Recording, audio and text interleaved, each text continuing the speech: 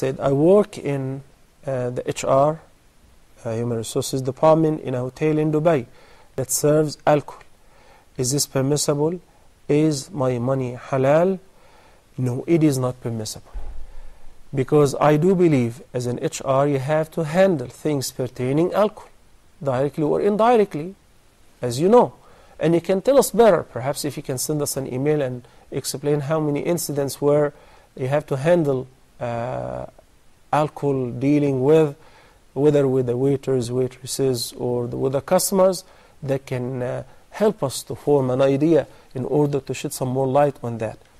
But if you work in a hotel where you have nothing to do with alcohol, we have nothing to do with gambling, your job is halal, and the owner of this hotel is responsible, entirely responsible for offering alcohol, for offering gambling, for making things like that available. Because the Prophet ﷺ have cursed 10 people pertaining alcohol.